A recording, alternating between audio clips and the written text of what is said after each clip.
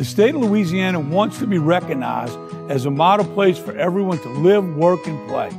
By taking a short survey, your input can help us improve how we hire, recruit, and retain employees with disabilities. Our sense of community and unique culture embodies true Southern hospitality. We believe in treating everyone the same because we are the same. No matter what state agency you work for, we recruit men and women who are dedicated, educated, and ready to work. We strive to provide a culture that embodies equitable accessibility for all.